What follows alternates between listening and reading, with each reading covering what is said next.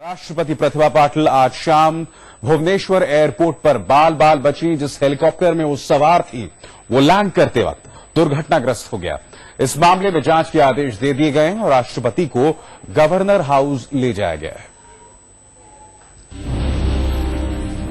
राष्ट्रपति प्रतिभा पाटिल एक हादसे में बाल बाल बची। पुरी से भुवनेश्वर आ रही राष्ट्रपति के हेलीकॉप्टर का पंखा एयरपोर्ट पर लैंडिंग के वक्त एक स्टोर की छत से जा टकराया। इस टक्कर से हेलीकॉप्टर का पंखा क्षतिग्रस्त हो गया, लेकिन किसी को कोई नुकसान नहीं हुआ। जिस समय ये हादसा हुआ, उस वक्त 16 सीटर हेलीकॉप्टर में प्रतिभा पाटिल के पति देवी सिंह शेखावत और उड़ीसा के राज्यपाल एमसी भंडारी भी मौजूद थे।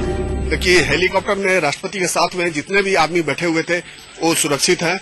और राष्ट्रपति प्रतिभा पाटिल अभी राजभवन पहुँच चुकी हैं और वहाँ पर सुरक्षित हैं और उनको उनको कहीं पर भी कोई भी चोट नहीं लगा है।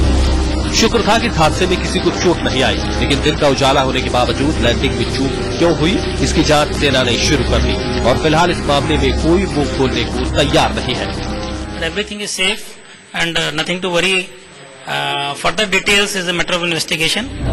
राष्ट्रपति प्रतिभा पाटिल तीन दिन के दौरे पर उड़ीसा में है और हादसे से पहले वो कोणार्क सूर्य मंदिर गई थी और वहाँ से पूरी जगन्नाथ मंदिर पहुँची थी, जहाँ भगवान की पूजा अर्चना के बाद शाम करीब चार बजे वो इंडियन एयरफोर्स के एम आई एट पर सवार हुई।